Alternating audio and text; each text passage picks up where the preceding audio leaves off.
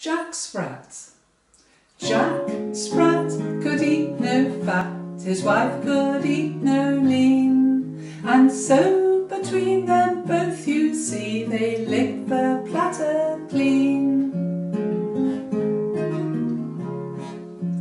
Jack ate all the lean, Joan ate all the fat. The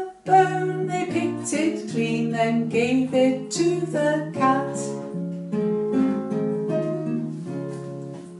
Sugar mice and all that's nice is what our Joanie ate, while Jack had fruit and vegetables piled high upon his plate.